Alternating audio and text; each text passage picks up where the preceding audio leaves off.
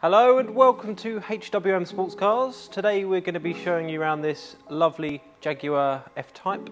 Um, this is the V6 supercharged model. Um, it's a 2014 car and it's covered just under 50,000 miles.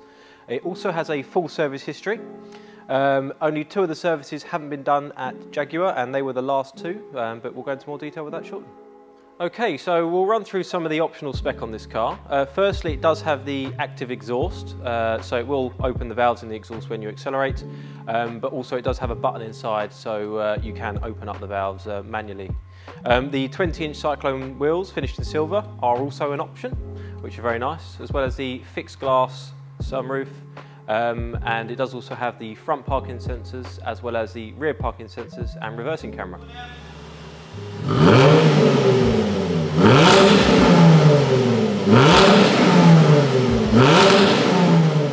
Okay, moving on to the inside. Um, this does have the half leather interior finished in black. Um, and also you can see down here in the centre you've got your buttons for your exhaust, um, your deployable rear spoiler as well. Um, it does have start stop on this car uh, as well as all your satellite navigation built in, dual zone climate control um, and the steering column is electric. The seats are half electric, so it's a manual slide backwards and forwards, but the height adjustment and the back of the seat is done electronically. Okay, so to tell you a little bit more about the service history on the car, um, the last service on the car was done at a Jaguar specialist and it was done at 48 or just under 48,000 miles in August 2021.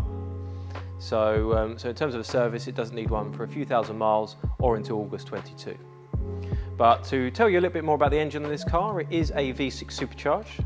It does have 335 horsepower and um, it will do 0 to 60 in 5.1 seconds, which is very good. But if you need any further information on this car, you can call us on 01932 240 611.